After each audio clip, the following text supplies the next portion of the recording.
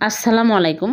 আজকে আমি চালের গুঁড়া দিয়ে ভীষণ মজার ক্ষীরমঞ্জুরি মিষ্টি বানিয়ে দেখাবো। এই মিষ্টি খাওয়ার পরে ছানার মিষ্টি খাওয়ার কথা ভুলে যাবেন। এতটাই টেস্টি হয়, নরম তুলতুলে মুখে দিলেই মিলিয়ে যাবে। খুবই টেস্টি আর দেখতে একদম দোকানের মতোই ক্ষীরমঞ্জুরি মিষ্টির মতোই হয়েছে।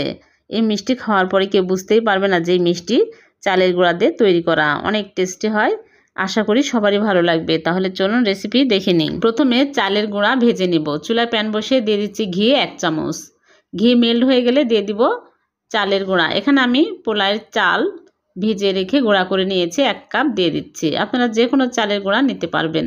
এখন আমি চুলার আঁচ লো আঁচে করে নেড়ে চেড়ে পাঁচ মিনিট ভেজে নেব। হালকা আঁচে ভেজে নিতে হবে। যখন দেখবেন যে কালার চেঞ্জ হয়ে গেছে, তখন বুঝতে হবে ভাজা হয়ে গেছে। এখন আমি চুলা থেকে নামিয়ে নিচ্ছি।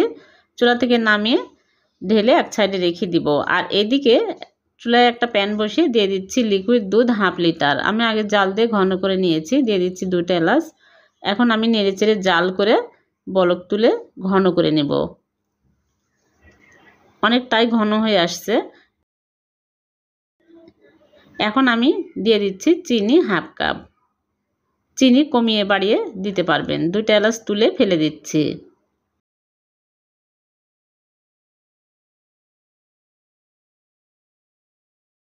যখন চিনি ভালোভাবে গলে যাবে, তখন আমি এর মধ্যে দিয়ে দিব ভাজা চালের গুঁড়া। এক হাতে দিব আর এক হাতে নেড়ে চেড়ে নেব। চুলার স্লো আছে করে রেখেছি। এখন আমি নেড়ে চেড়ে শক্ত টাইট করে নিব। আস্তে আস্তে ঘন হতে শুরু হয়েছে। যখন দেখবেন যে প্যানের গা ছেড়ে আসছে আর শক্ত টাইট হয়ে আসছে, তখনই বুঝতে হবে হয়ে গেছে। এখন আমি চুলা থেকে নামিয়ে প্লেটে ঢেলে হালকা ঠান্ডা করে নিব।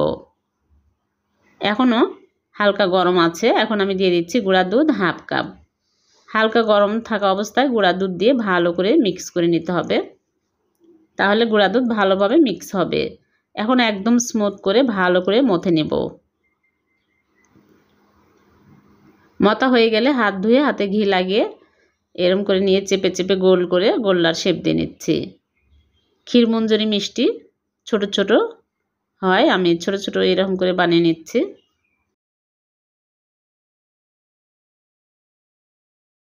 সবগুলো মিষ্টি বানানো হয়ে গেছে। এখন আমি এগুলো পানির ভাপে দিব। এর জন্য চুলায় একটা পাত্রে পরিমাণ মতো পানি দিয়ে পানি ফুটিয়ে নিয়েছি আর একটা স্টেনার বসিয়ে দিচ্ছি।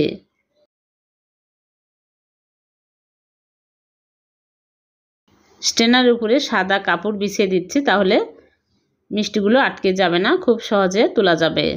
তারপর এই সাদা কাপড়ের উপর মিষ্টিগুলো একটা একটা করে দিয়ে দিচ্ছি।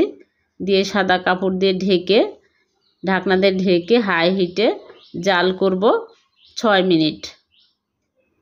ছয় মিনিট পর ফিরে আসলাম। মিষ্টিগুলো হয়ে গেছে, ভালোভাবে কুক হয়েছে। এখন আমি চুলা থেকে নামিয়ে ঠান্ডা করে একটা প্লেটে তুলে নিয়েছি। হয়ে গেল ভীষণ মজার ক্ষীর মঞ্জুরি মিষ্টি। এখন আমি ইনস্ট্যান্ট মাওয়াতে কোট করে নিচ্ছি। তাহলে দোকানের মতো লুক আসবে, খেতে অনেক টেস্টি হবে। এই ইনস্ট্যান্ট মাওয়া আমি বাড়িতে তৈরি করে নিয়েছি। গুঁড়া দুধের সাথে ঘি মিক্স করে নিয়েছি। এই ইনস্ট্যান্ট মাওয়াতে সবগুলো আমি এখন কোট করে নিচ্ছি। হয়ে গেল ক্ষীরমঞ্জুরি মিষ্টি। এই মিষ্টি খেয়ে কেউ বুঝতেই পারবে না যে চালের গুঁড়া দিয়ে তৈরি করা। মনে হবে ছানার তৈরি মিষ্টি।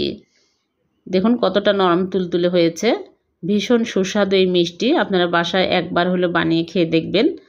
এই মিষ্টি খাওয়ার পরে ছানার মিষ্টি খাওয়ার কথা ভুলে যাবেন। এতটাই টেস্টি হয়। ভালো লাগলে লাইক কমেন্ট বেশি বেশি শেয়ার করবেন। আর এরকম নতুন নতুন রেসিপি পেতে চ্যানেলটিকে সাবস্ক্রাইব করে চ্যানেলের সাথেই থাকার অনুরোধ রইল।